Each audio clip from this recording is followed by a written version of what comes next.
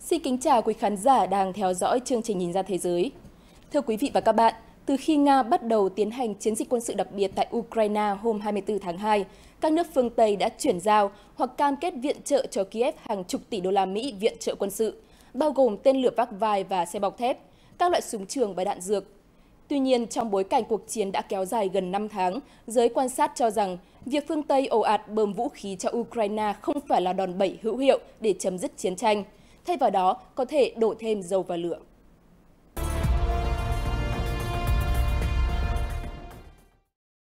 Từ cuối tháng 2 đến nay, Mỹ và phương Tây đã liên tục bơm các loại vũ khí hiện đại cho Ukraine để hỗ trợ nước này đối phó với chiến dịch quân sự của Nga. Các nước đồng minh NATO sẽ tiếp tục cung cấp viện trợ vũ khí và hỗ trợ tài chính cho Ukraine để giúp nước này trong cuộc xung đột với Nga. Và chúng tôi sẽ còn tiếp tục làm điều đó cho đến khi nào còn cần thiết. Theo số liệu của Viện Kinh tế Thế giới Kian Đức, Mỹ, Anh và Ba Lan là ba quốc gia hàng đầu về viện trợ quân sự cho Ukraine. Đứng đầu danh sách viện trợ quân sự cho Ukraine là Mỹ, với số tiền cam kết lên tới 17,4 tỷ euro. Các vũ khí được Mỹ cam kết hoặc gửi đến Ukraine bao gồm 72 pháo cỡ 155mm, 72 phương tiện kéo, 144.000 viên đạn và hơn 120 máy bay không người lái chiến thuật Phoenix Ghost. Mỹ cũng cam kết trang bị trực thăng, tàu sân bay bọc thép, 1.400 hệ thống phòng không Stinger, 12 tổ hợp pháo phản lực động cơ cao HIMARS, 5.000 tên lửa chống tăng Javelin, hàng nghìn khẩu súng trường cùng đạn dược và hàng loạt thiết bị khác. Đứng thứ hai trong danh sách viện trợ quân sự là Anh với 2,7 tỷ euro và Ba Lan với 1,8 tỷ euro. Sau đó đến các nước Đức, Canada, Na Uy và Cộng hòa Séc. Có thể nói, Ukraine đang nhận được sự hỗ trợ về an ninh lớn chưa từng có trong lịch sử đương đại. Tuy nhiên, theo một số nhà phân tích, những loại vũ khí mà phương Tây viện trợ có thể giúp Ukraine đạt được một số bước tiến trên chiến trường, nhưng rất khó đánh bại Nga về mặt quân sự. Thực tế những gì đang diễn ra trên chiến trường cho thấy, bất chấp sự hỗ trợ từ phương Tây dành cho Kiev, nhưng đến nay chiến sự vẫn đang trong thế rằng co, thậm chí với ưu thế có phần nghiêng về phía Nga. Sau khi kiểm soát hoàn toàn tỉnh Luhansk hồi đầu tháng 7, hiện Moscow đang tập trung hỏa lực, pháo kích dữ dội vào tỉnh Donetsk, nằm ở phía tây nam của Luhansk, với mục tiêu kiểm soát toàn bộ khu vực Donbass Quân đội Ukraine cho biết Nga đang chuẩn bị cho giai đoạn tiếp theo của chiến dịch quân sự và tái tập hợp các đơn vị cho một cuộc tấn công vào Sloviansk, thành phố quan trọng ở tỉnh Donetsk trong vùng Donbass. Trong một diễn biến mới, lực lượng dân quân miền Đông hôm 18 tháng 7 tuyên bố Nga đã hoàn tất kiểm soát thị trấn chiến lược Seversk ở tỉnh Donetsk, hai tuần sau khi mở đợt tiến công vào khu vực chiến lược thuộc tỉnh Donetsk này chỉ có diện tích khoảng 12 km vuông, nhưng Seversk lại nằm trên trục giao thông kết nối tỉnh Luhansk, hiện do Nga và lực lượng dân quân miền Đông kiểm soát, tới hai thành phố Sloviansk và Kramatorsk, thủ phủ hành chính của Ukraine tại Donetsk. Giới quan sát cho rằng, với việc kiểm soát thành công Seversk, Nga sẽ đẩy nhanh đáng kể đà tiến công ở Donetsk từ hướng Tây Bắc thay vì chỉ từ hướng Đông và hướng Nam. Các nhà phân tích nhận định nhiều khả năng Nga sẽ chiếm phần lớn miền đông Ukraine trong tương lai không xa, trong bối cảnh ấy, viện trợ vũ khí của phương Tây cho đến nay dù đã góp phần ngăn cản Nga nhanh chóng đạt được các mục tiêu chiến lược mà nước này đặt ra trong chiến dịch quân sự đặc biệt tại Ukraine, nhưng cũng chưa thể giúp Ukraine giành được ưu thế trên chiến trường. Xét về lâu dài, những bước tiến của Nga tại khu vực Donbass cùng khả năng Ukraine đánh mất tuyến đường ra biển không chỉ thể hiện những hạn chế trong chính sách răn đe mà phương Tây đang áp đặt chống Nga, mà còn đặt ra những câu hỏi lớn về tính hiệu quả của các gói viện trợ quân sự khổng lồ dành cho Kiev.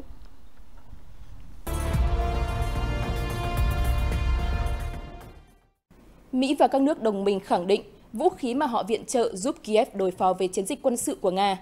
Nhưng giới quan sát đánh giá, việc phương Tây ồ ạt bơm vũ khí cho Kiev chỉ đang kéo Ukraine lún sâu vào vũng lầy chiến tranh. Có một thực tế là mặc dù phương Tây đã cam kết viện trợ một số lượng lớn vũ khí hạng nặng cho Ukraine, nhưng tốc độ chuyển giao chậm chạp đã khiến Ukraine không có đủ khí tài để đối phó với chiến sự khốc liệt đã kéo dài nhiều tháng qua. Các quan chức Ukraine đã nhiều lần lên tiếng cho rằng sự hỗ trợ của phương Tây hiện tại là chưa đủ và chưa kịp thời trong bối cảnh chiến sự ở khu vực Donbass đang ở vào giai đoạn sống còn. Mỹ là quốc gia hào phóng nhất khi cam kết viện trợ nhiều tỷ đô la cho Ukraine. Trong vài tháng qua, Mỹ đã chuyển cho Ukraine số tên lửa chống tăng Javelin và Stinger lớn đến mức các quan chức nước này nói rằng nó tạo ra một lỗ hổng trong kho vũ khí của chính nước Mỹ mà theo ước tính phải mất vài năm nữa mới có thể lấp đầy tình trạng thiếu hụt vũ khí cũng xảy ra với các nước khác trong khối NATO sau khi viện trợ cho Ukraine. Tuy nhiên, các chuyên gia cho rằng tiến độ chuyển giao vũ khí vẫn chưa theo kịp nhu cầu của Ukraine trên chiến trường. Đến nay, Mỹ đã viện trợ cho Kiev một nửa số vũ khí mà nước này cam kết. Đức cũng đã chuyển giao 1 phần 3, còn Ba Lan và Anh đã thực hiện phần lớn những gì họ cam kết. Mặc dù vậy, số lượng vũ khí khủng mà NATO chuyển cho Ukraine vẫn như muối bỏ bể trước sự áp đảo về hỏa lực của quân đội Nga trên chiến trường. Trong phát biểu mới đây, ông Daniel Macro, phát ngôn viên binh đoàn quốc tế của Ukraine cho biết tỷ lệ pháo hạng nặng của Ukraine so với Nga hiện nay là 1 trọi 8. Trong số vũ khí trị giá nhiều tỷ đô la mà Mỹ cam kết với Ukraine mới đây, chỉ có khoảng 1 phần 3 là được chuyển giao nhanh cho Kiev, phần còn lại sẽ được chuyển giao dần trong dài hạn. Và điều này trái ngược hẳn với nhu cầu của Ukraine mà nước này nói để có thể thay đổi cục diện tại khu vực Donbass. Thứ trưởng Bộ Quốc phòng Ukraine chuyên phụ trách mua sắm Denis Sarapov thừa nhận rằng viện trợ thực tế mà Kiev nhận được từ phương Tây chỉ đáp ứng từ 10% đến 15% nhu cầu vũ khí của nước này. Thưa quý vị và các bạn, việc các nước phương Tây viện trợ vũ khí cho Ukraine thời gian qua cũng tồn tại nhiều rủi ro. Một trong những rắc rối là những vũ khí chuẩn của NATO không phù hợp với quân đội Ukraine, vốn quen thuộc với vũ khí của Liên Xô trước đây và Nga sau này.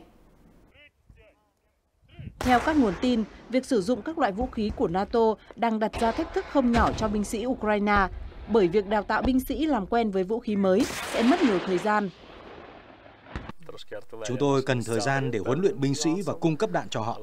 Pháo của chúng tôi không đáp ứng tiêu chuẩn, nhưng với sự hỗ trợ của phương Tây, chúng tôi đang nỗ lực để tăng cường khả năng pháo kích. Một nguồn tin tình báo Mỹ cho biết, nhiều binh lính Ukraine đơn giản là không sử dụng thứ vũ khí mà họ không quen. Một dẫn chứng là mặc dù nhận được hàng trăm máy bay không người lái Switchblade, một số đơn vị của Ukraine thích sử dụng máy bay không người lái thương mại gắn chất nổ dễ sử dụng hơn. Thực tế này khiến Mỹ phải cân nhắc làm rõ hơn mức tiêu thụ vũ khí tại Ukraine.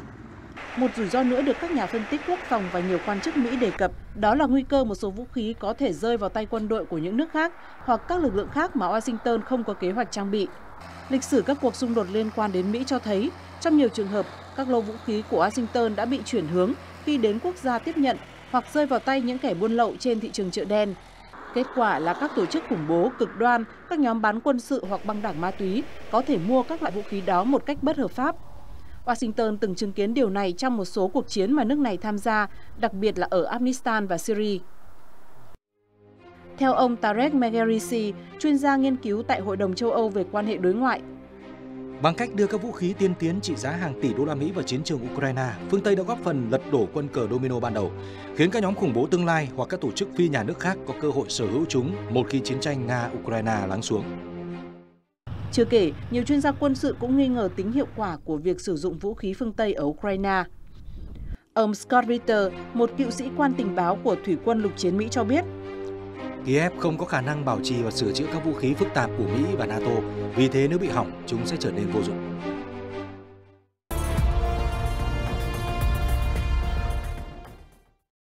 Trong bối cảnh Nga không có bất kỳ dấu hiệu nào về sự thay đổi trong chiến dịch quân sự tại Ukraine, thì phương Tây đã bắt đầu xuất hiện những dấu hiệu mệt mỏi, đặc biệt liên quan đến những phí tổn của việc hỗ trợ Ukraine không phải vì cử tri phương Tây hối hận về việc giúp đỡ Ukraine, mà vì họ bắt đầu nhận thấy các vấn đề khác ở trong nước vốn cần ưu tiên lại đang không được quan tâm thỏa đáng. Tại Mỹ, Tổng thống Joe Biden có thể hứng chịu tổn thất trong cuộc bầu cử quốc hội giữa nhiệm kỳ vào tháng 11. Tổng thống Pháp Emmanuel Macron, Thủ tướng Đức Olaf Scholz và các nhà lãnh đạo châu Âu khác cũng phải đối mặt với các thách thức riêng trong nước. Đến nay, chưa lãnh đạo nào dám thẳng thắn chia sẻ với cử tri về các hệ quả lâu dài mà nước họ có thể phải đối mặt. Tổng thống Ukraine Volodymyr Zelensky cũng nhận thức rõ về điều này và lo rằng Nga có thể lợi dụng sự mệt mỏi của phương Tây để buộc Kiev phải thỏa hiệp.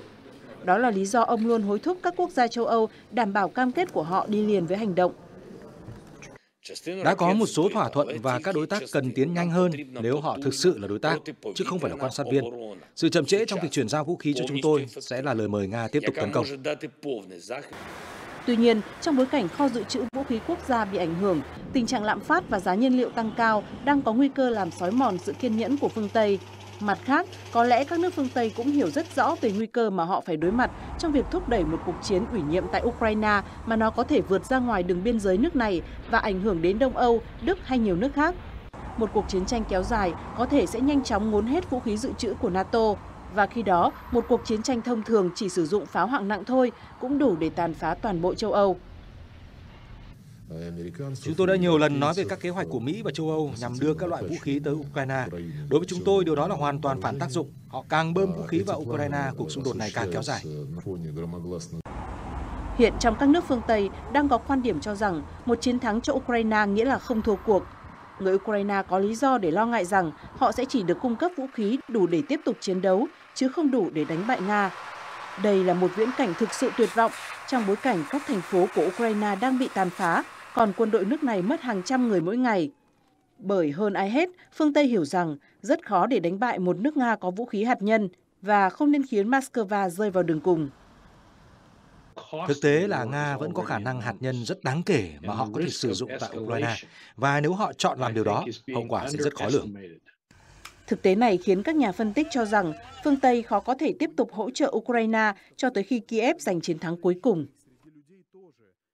Một số nhà phân tích cho rằng việc phương Tây bơm vũ khí cho Ukraine đang kéo dài sự đau khổ của người dân nước này. Bởi nếu Ukraine không có được sự hỗ trợ từ phương Tây, chắc chắn họ sẽ phải ngồi vào bàn đàm phán với Nga và hai bên có thể sớm tìm ra các biện pháp hòa bình nhằm chấm dứt xung đột.